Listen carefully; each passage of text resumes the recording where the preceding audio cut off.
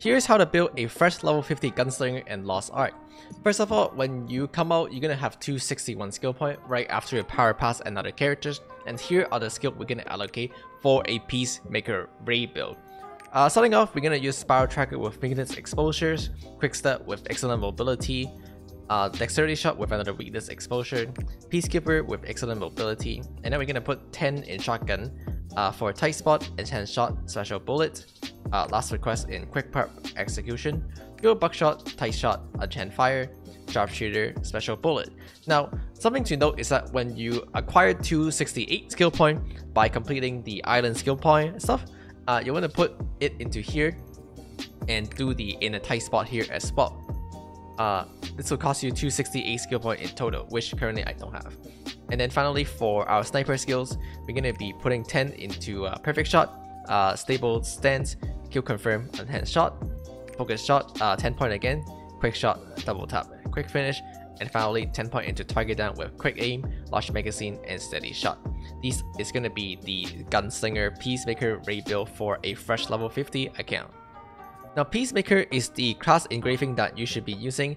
Every time you switch weapon, it will give you a buff, uh, attack speed buff in handgun for example, or like a 10% damage boost in sniper, and it's really essential to bring all your damage, so you should try to acquire this as soon as possible. You can acquire this really easily by doing the uh, class engraving book questline on either the island or the side quest. Now, a really important tip for a gunslinger is that to bind your identity to your mouse button. Uh, usually on your mouse there's two buttons on the side and you want to bind your identity to those buttons which make weapon switching significantly easier. Uh, the second thing is just to remember like how to switch your weapon around. So when you're in pistol mode, switching to up would be a shotgun and then go back down for a pistols and a pistol down for a rifle and then up for a uh, pistol. Uh, the easiest way to learn at first is to always switch back to your handgun. Um, so you're gonna do uh, pistols, shotgun, and then always switch back to your uh, uh, pistols.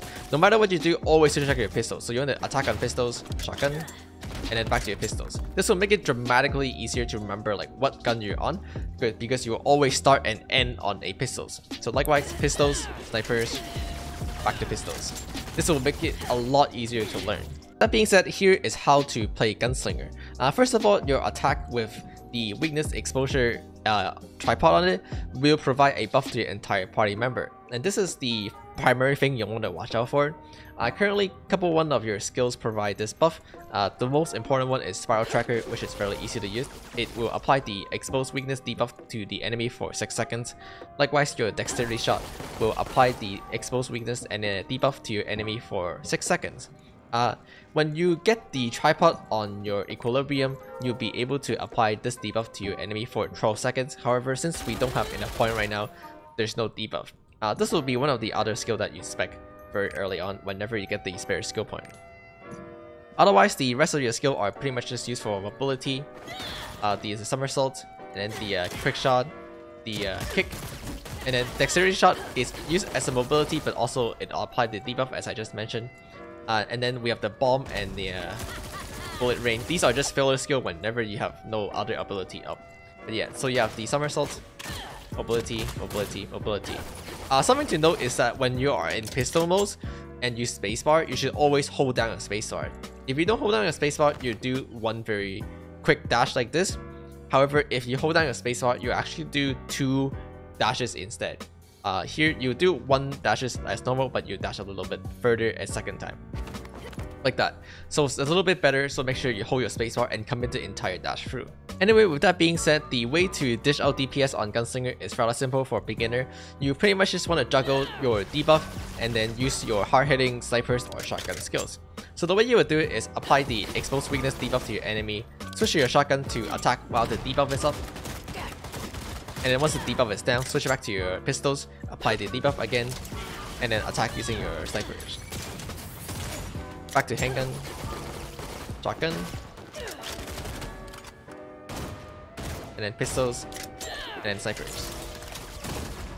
Very basic. Sorry I keep calling uh, pistols and handgun, it's I keep getting confused. A final tip that a lot of people doesn't know is that you can actually cancel out your sharpshooter skill by switching a weapon. You do not have to space bars. So usually when you're locked in the animation, you have to spacebar out if you're getting attacked for example to dodge it. However, for the sharpshooter skills in specifically, you can cancel all of it by switching a weapon. So here I'm gonna fire and I'll cancel out by switching my weapon. Uh, this will let you pretty much just you pretty much just switch to pistol and then do a somersault if you need to dodge anything. And something that a lot of people doesn't know is that the shot when you come out from quickset can actually fire in a different direction. So I can actually dash away from the enemy and then fire on him still by simply juggling my mouse uh, to the direction I want to dash and then onto the enemy. So you can still make sure that the shot fire from a quick shot hit even uh, no matter what direction you're dashing. So I can dash sideways, hit him like that. So uh, pretty important to dish out a little bit of extra damage, but especially important if you do PvP as this have a hard stagger on it. Oh, oops. Gunslinger is a dramatically fun cast once you're able to pick it up, so hopefully you have fun with it as well. With that being said, if you have any question, feel free to ask me over at my Twitch, twitch.tv slash 1010game, and if you enjoyed the video, don't forget to subscribe. With that being said, I'll see you all over there.